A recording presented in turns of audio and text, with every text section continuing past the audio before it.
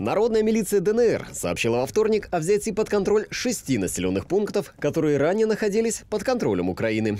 Это населенные пункты на Мариупольском направлении. Широкино, Бердянская, Лебединская, Ломакина, Водяная, Толоковка. Опубликованы видео, где запечатлены поврежденная военная техника и дома, пострадавшие в результате обстрелов и военных действий. Напомним, 21 февраля президент России Владимир Путин подписал указы о признании независимости ДНР и ЛНР. В четверг, 24 февраля, глава государства заявил о начале военной спецоперации по защите республик и демилитаризации Украины.